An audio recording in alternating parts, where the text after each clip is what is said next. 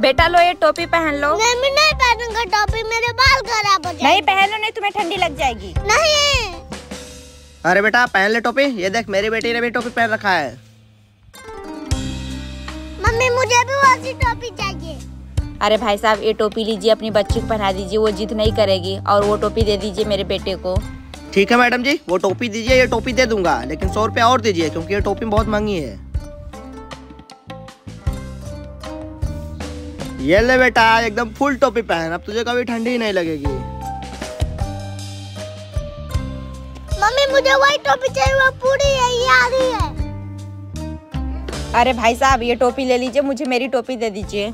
अरे मैडम जी मैं वो टोपी लूँगा और ये दूँगा लेकिन सौ रुपए फिर लूँगा। ठीक है लीजिए। ये लीजिए।